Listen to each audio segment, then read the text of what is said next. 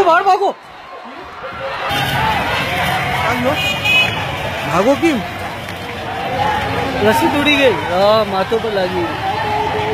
तो बच्चा तो उसमें ना हुआ ना। पूरी वीडियो बनाई भागी जो भाई, जामिया निकली है।